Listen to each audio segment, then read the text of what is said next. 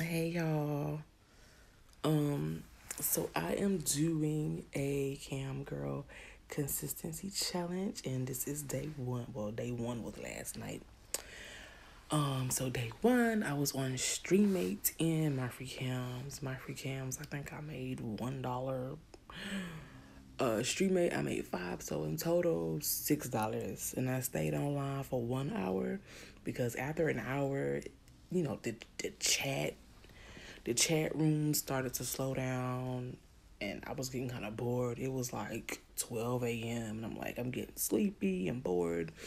And I said, maybe I need to change my schedule to an earlier time because I tried to do like 11 p.m. to 2 a.m. But I was like, mm, maybe change it to like 9 p.m. to 12 because 12 a.m. is when I really start to get sleepy.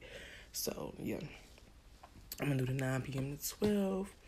Um, morning shifts are good for me too, but I just have to get up early to I just have to get up early in order to be a part of the morning shift.